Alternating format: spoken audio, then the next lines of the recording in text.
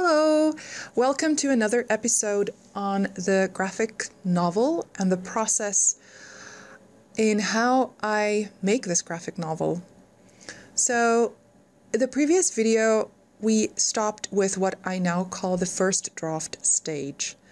That meant that I have completed the drawings, I have scanned in the drawings, and I have cleaned them up. I because my scanner can only scan A4 and my original drawings were A3 size.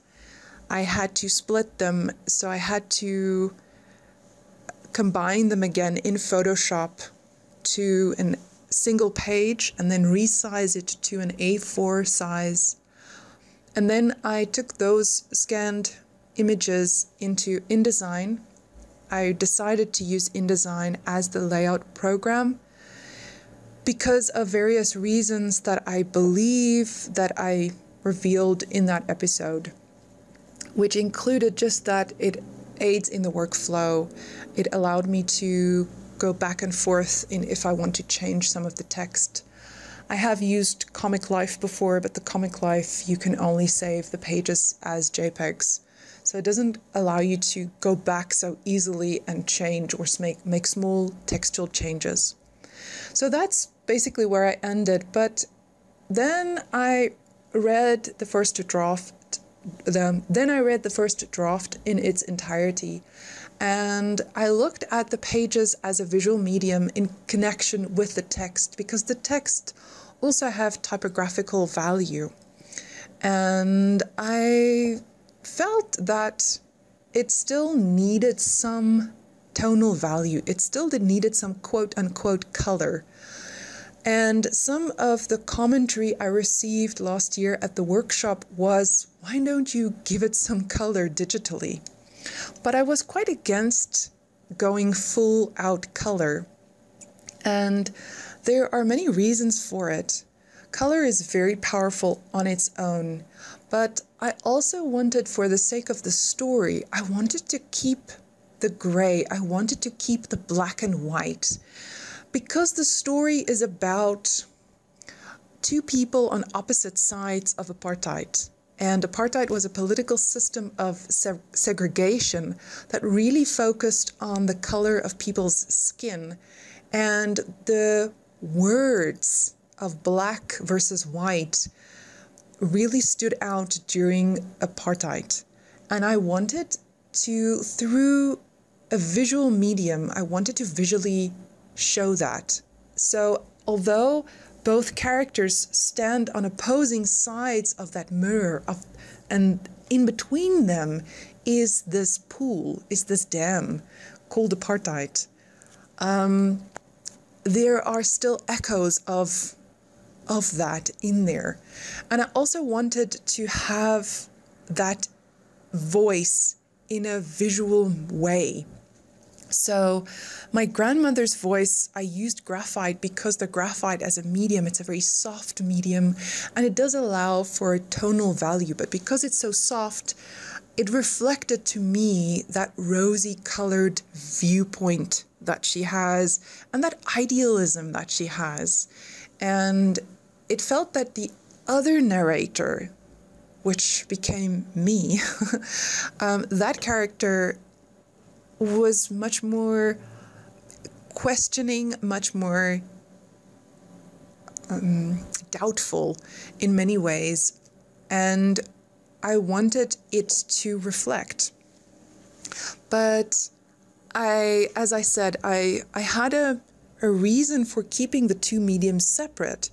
But at the same time, I when I started to scan in the graphite, I saw that a lot of the detail of the graphite got lost. And I realized just from a practical standpoint why the graphite isn't as effective because it doesn't reproduce.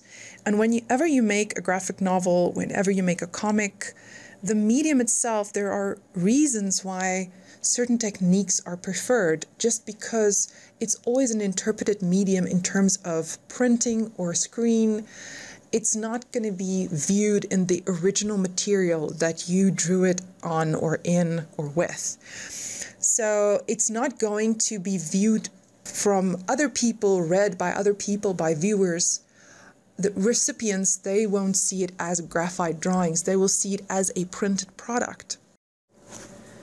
So for the last chapter, because of the physical constraints I experienced with the graphite, I felt the graphite alone as a medium got too much compromised when it got scanned. I also thought, you know, from a visually, but also in terms of the storyline, I do want these two voices to reach closer and closer to each other. And I deemed the fact to use ink in the last chapter, although it's the voice of Verna and not my voice, but for them to then, for both narrators to use the same medium, it symbolically, visually shows that these two voices start to echo each other in some way. And I am a mimesis of her in some way, although I don't want to maybe acknowledge it. But um, I also, as I said, I I looked at these graphite drawings, which really surprised me and became very beautiful for me. And I thought, okay, the graphite on its own, as as pages, do not stand out strongly enough, and a lot of the white of the page begins to dominate these pages. Let me adopt some of the advice that I have been given last year of adding color, quote unquote, but not the color that they had in mind, which was the rainbow color or the color wheel, but adding typographical color or tonal value. So I began from January to add tonal value, a set of grays to the pages, and this color I added dig digitally in Photoshop. I also decided I'm not going to attempt to make it look like a painting. I am going to limit my gray values to 10% gray, 30% gray, 50%, 70%, and 90% gray. I still wanted the graphite pages themselves to never really reach black, pure black. I wanted it to retain that very soft approach and a lighter touch so that it really does contrast well with the other ink pages. And at that stage, I thought that the ink pages were going to remain only ink uh, with no digital coloring added. And I began to, as I said, I used Photoshop. I added another layer on top of the graphite drawing, the scan, and then I would paint, block out areas of that gray and or a, specific tonal value of the gray. And then I would use the multiply function to allow some of the mark making of the bottom to come through. So, going digital or using digital as a third medium allowed me even more variety of mark making. And that really surprised me because initially I didn't want to go, I didn't want to use digital um, coloring um, initially, I thought I'm going to make everything by hand, but I really, really enjoyed the depth of color, typographical color, or tonal value that I received, and the pleasure it gave me in using digital color, so to speak. It also surprised me because it allowed even more variety of mark making. So I had the original mark making of the graphite and the texture that provided as it um, brushed over or drew as I drew with it over the surface of the paper. But it also, um, I also had texture in terms of the variety of digital brushes that I could use. So I could use charcoal brushes for some of the trees and some of the soil or the ground. I could use gradient fills for some of the backgrounds that were too white and overpowering. And suddenly, adding that tonal value to that page just changes the atmosphere of the page completely. And I also added some watercolor brushes for sort of clouds. So sometimes it could really give that soft feel that I loved. And I was completely surprised by the depth of mark making, the variety that I got. That if I hadn't used it and I used only graphite, I really would have missed out on. I really was pleased with that combination of the graphite and the digital brush uh, that I believe that without the graphite, the digital brush can easily look flat. It lacks a kind of depth. So, working in this layer and working in one medium, scanning it in, and then working on top of that scan to add more tonal value. I believe that whole process itself was necessary to create the kind of mark making and tonal value that I really achieved in the end and that I really was looking for all this time. So just working in graphite would not have been sufficient for me and just working in graphite oh, sorry, and just working digitally would also not have been satisfactory. I realized I, I needed that combination of the two. I also made a wonderful discovery with the scan, and I started to realize that on some of the pages of the scan, the scanner itself adds a type of mechanical mark making that I did not anticipate. The scan itself interprets the drawing in a visual as visual data, and sometimes you can see that mechanical glitch on the page as it sometimes also because of the split and I had to uh, paste them together in Photoshop, but also sometimes the scan itself, sometimes it would pixelate a certain line, which was very softened, or vice versa. Sometimes it was a very hard line, which had a very hard edge, but the scan kind of blurred it a little bit. And that was, as I said, a very surprising discovery for me that this machine also became a trans, it was the drawing got uh, transferred from from drawing to scan, and that transfer added a sense of print. The same way that when you make any kind of print, an etch or a lino, you work on the plate, and the printing process creates an added interpretation from because of that transfer process. So that for me was very very interesting. Another thing as I am working on these pages, I started to think about the concept of layers and working physically in layers in Photoshop. So, as I've mentioned, I have the scan, and that scan is one layer, and then I create another layer with a panel on top of it, but sometimes I would have a third or a fourth or a fifth layer. Sometimes I worked in creating masks, but this document, which started out as one layer, became a multi layer document, a multi layer drawing. And it started to make me think of multiple layers of meaning, multiple layers of interpretation, and how that applies so beautifully to the physical characteristics of the medium. Another thing I observed, which was for me surprising and interesting, was also why am I so attached to this concept of just working in tonal grays? Why do I not want to go and explore the whole color wheel? And I initially could not explain why I was attached to this idea.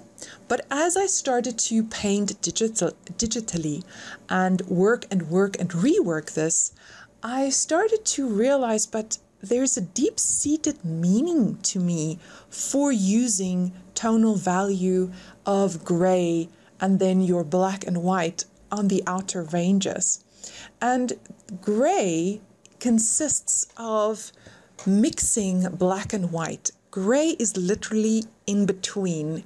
And I don't know if my actual story comes through that I am on this quest of finding meaning. I'm, I'm definitely searching for it. I'm searching for answers.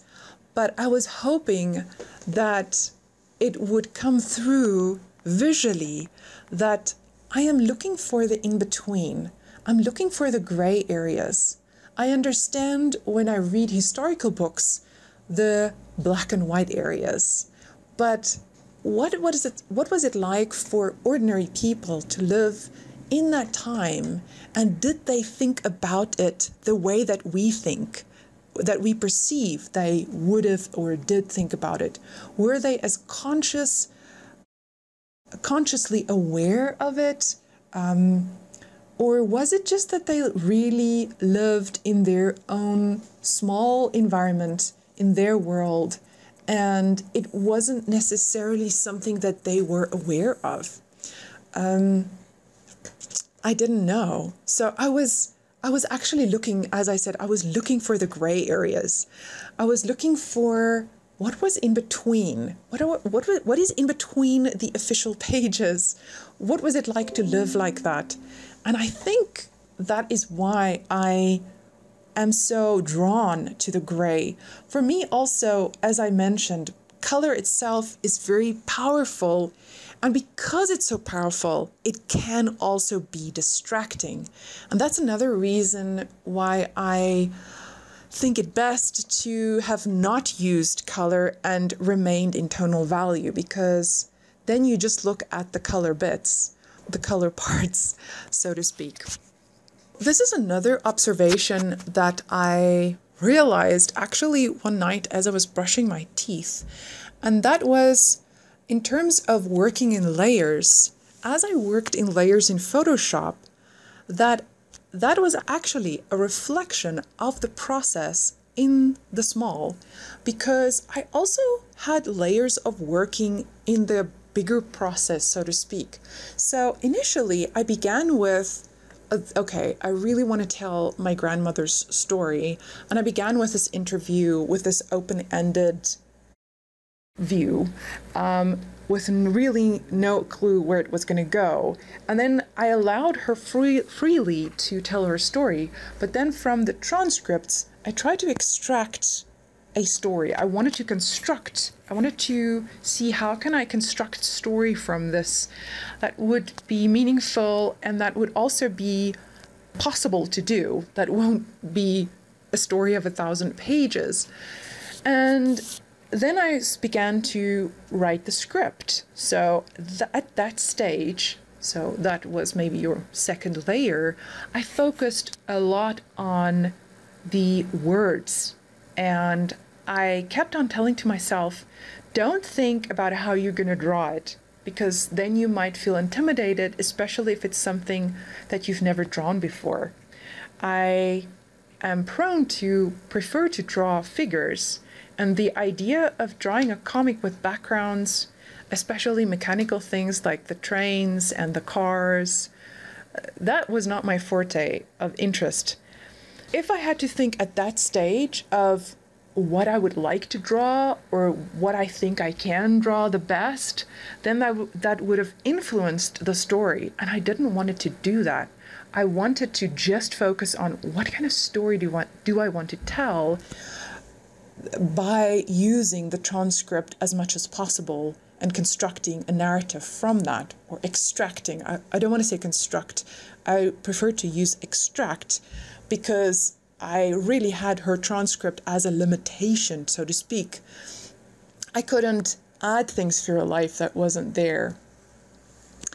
So that was also another layer of looking at it. And then I have the next layer, so once I've mulled over the words, I began to create drawings. And one, once I was at the tangible drawing pages stage, that was the ink or the graphite pages, I only focused on the imagery. And I wondered if other people, other author, comic artists also had the same process of just working sort of compartmentally. And it's only at the stage, at the last stage, when you reach your first first draft stage that you begin to combine all these layers, all these elements together to create this cohesive whole. And it was only once I reached the first draft stage where I added the text and the image on one page that I could really see the story come together and find new meaning in it. So there was also a sense of building up layers one after the other. And then, of course, this theme of layers seemed to have followed me because there's also a sense of layers in terms of voices. There are the two voices, so it's my voice, it's the the one narrator, and then the other main narrator is Verna. So I have these two voices, and also there is actually a third voice involved in it as well because I've included some recipe pages. And although it seems like an impartial voice, it is a voice. And it is a voice that adds value to the story and changes some of the ideas and the understandings of what is being told by another narrator. So I've got layers of narrators as well. And I found that quite fascinating to to say the least in terms of the process and how you're constructing a graphic novel. That's something that I wouldn't have anticipated. I wouldn't have known unless I made a graphic novel myself. And I've always wanted to do this, but I've always been so scared And how do you bring a story together? So I'm really pleased that I have finally this opportunity. I feel very privileged that I have this opportunity to bring all of that together. As I've mentioned before, I thought I was only going to add tonal value to the graphite pages. At that stage, I believed that the pen and ink pages had enough tonal value. but surprise, surprise, when I finished the fourth chapter and I thought, now it's done and dusted, I really looked at chapter five and I thought about, as I've mentioned before, the symbolism of everything visually coming together, the stories intertwining. I thought, mm, you know, visually it might look good with some tonal value and it will fit in with the symbolism. And I thought, let's just try one page and see how that's going to work.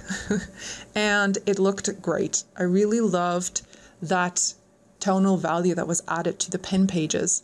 So, where I am at right now is I'm busy with chapter five and I'm adding tonal value to those ink pages.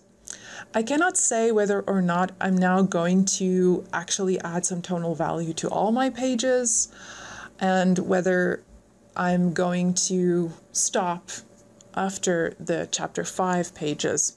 I will have to see how it evolves. I will have to trust the process that when I get there, I will test it out and I will have enough knowledge to know what to do next Thank you so much for being with me and watching this video, this process video. I um, hope to share some work very, very soon.